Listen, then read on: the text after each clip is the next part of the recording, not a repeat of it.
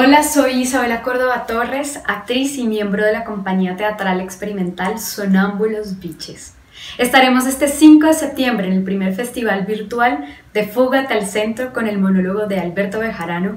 La bailarina sonámbula lleva los ojos abiertos, curados de biche. Los invitamos a que se conecten a todas las redes sociales de la fuga y no se pierdan este gran festival.